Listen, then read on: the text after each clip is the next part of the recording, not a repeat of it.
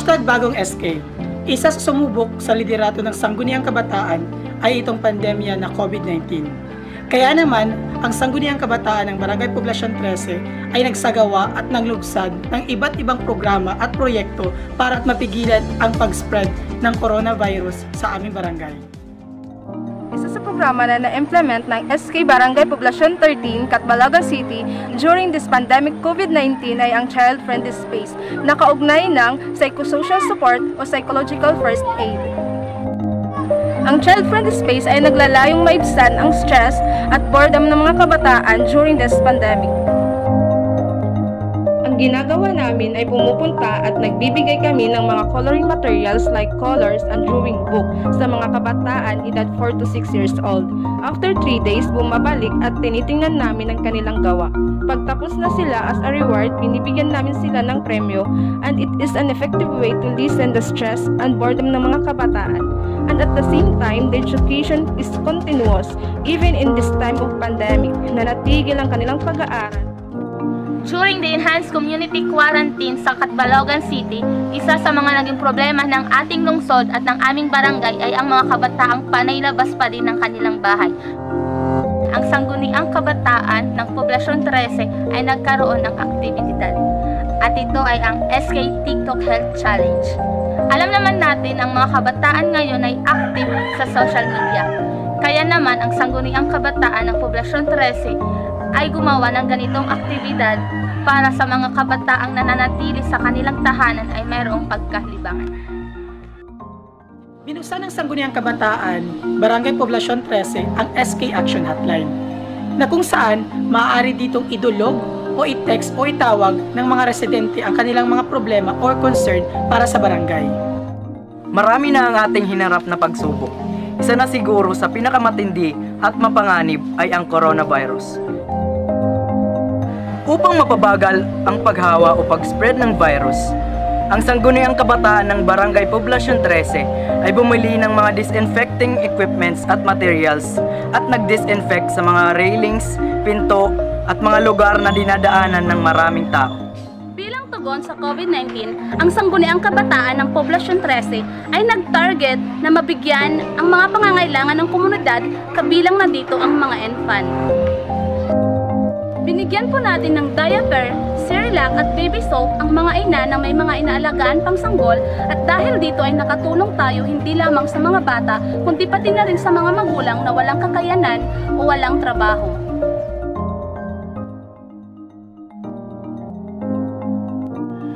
Isa sa paraan para malabanan ng coronavirus ay ang pagpapalakas ng ating immune system. Dahil dyan, ang sangguniang kabataan ng Barangay Poblasyon 13 ay nagbigay ng mga vitamin C at multivitamins para sa mga 2 years old. Nung iniulat ang patungkol sa coronavirus ay agad na nag-house to house ang SK Barangay Poblasyon 13 upang maturuan ang bawat pamilya sa tamang paghuhugas ng kamay. Kaya naman naglunsad ang SK Barangay Poblasyon 13 ng house to house hand washing technique dissemination.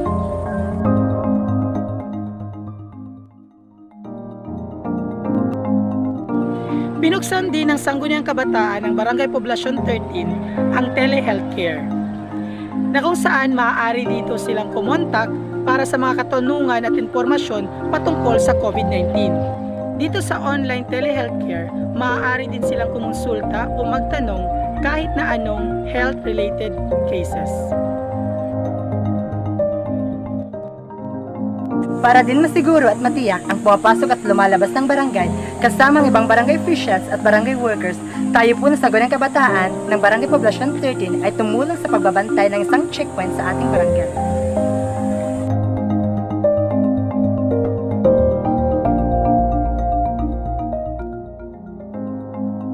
Dahil na din sa kakulangan ng supply ng alcohol, nagturo at nagbigay tayo ng alternatibong paggawa ng hand sanitizer.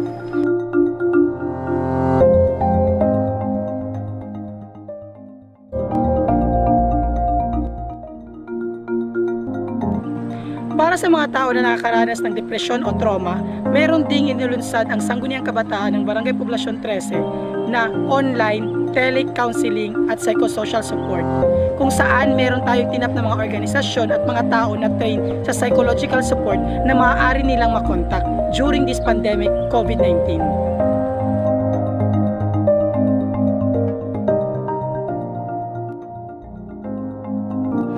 Salamat sa mga butihing nagbigay ng kanilang mga donasyon ng iba't ibang pangangailangan ng komunidad.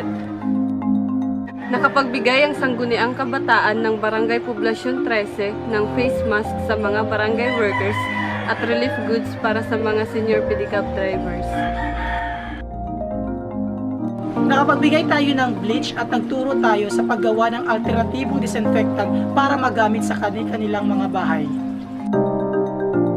Nakapagbigay din tayo ng mga sabon sa ibang kabahayan para maturuan ng tamang paghugas ng kamay. Dala na din ng kahirapan at sinabayan pa nitong COVID-19, pansamantalang natigil ang ibang trabaho na naging resulta ng paghihirap ng mga residente. Kahit din papaano ang sangguniang kabataan ng Barangay Poblasyon 13 ay nakapagbigay ng kunting tulong na relief para sa ating komunidad.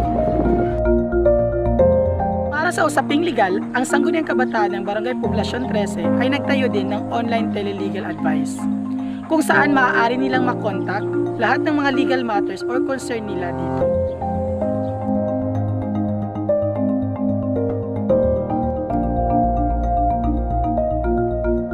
Kami ang Sangguniang Kabataan. Kami ang Sangguniang Kabataan. Kami ang Sangguniang Kabataan. Kami ang Sangguniang Kabataan. Kami ang Sangguniang Kabataan. Kami ang Sangguniang Kabataan. Kami ang Sangguniang Kabataan. Kami ang Sangguniang Kabataan. Kami ang Sangguniang Kabataan ng Barangay Poblasyon 13, Catbalogan City.